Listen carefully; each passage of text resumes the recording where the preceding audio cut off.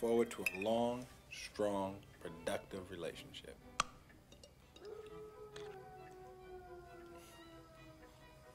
You know, I don't want to blow my own horn, but I'm really qualified.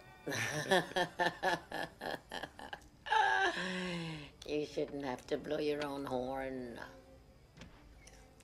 You should leave that for someone else to do.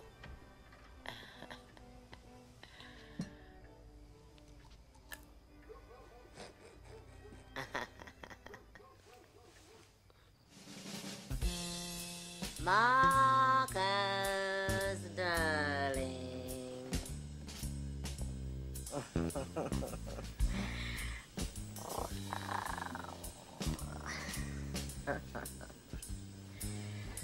Wouldn't you like to get a little bit more